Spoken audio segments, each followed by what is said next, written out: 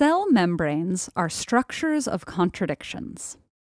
These oily films are hundreds of times thinner than a strand of spider silk, yet strong enough to protect the delicate contents of life the cell's watery cytoplasm, genetic material, organelles, and all the molecules it needs to survive.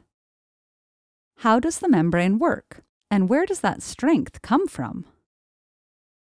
First of all, it's tempting to think of a cell membrane like the tight skin of a balloon, but it's actually something much more complex.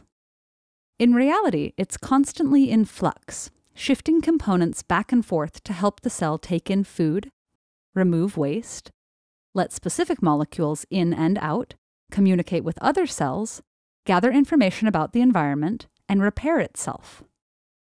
The cell membrane gets this resilience, flexibility, and functionality by combining a variety of floating components in what biologists call a fluid mosaic. The primary component of the fluid mosaic is a simple molecule called a phospholipid.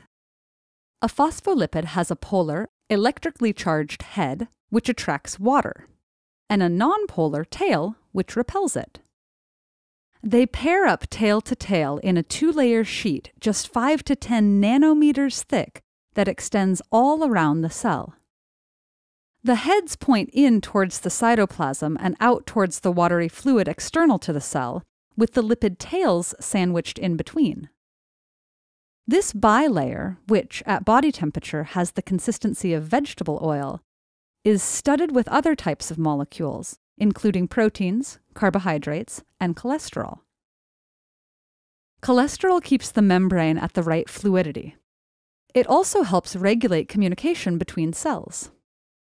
Sometimes cells talk to each other by releasing and capturing chemicals and proteins. The release of proteins is easy, but the capture of them is more complicated.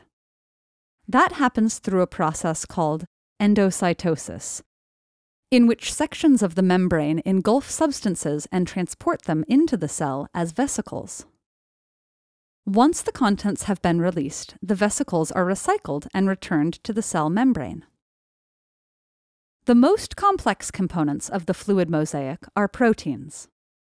One of their key jobs is to make sure that the right molecules get in and out of the cell. Nonpolar molecules like oxygen, carbon dioxide, and certain vitamins can cross the phospholipid bilayer easily. But polar and charged molecules can't make it through the fatty inner layer. Transmembrane proteins stretch across the bilayer to create channels that allow specific molecules through, like sodium and potassium ions. Peripheral proteins floating in the inner face of the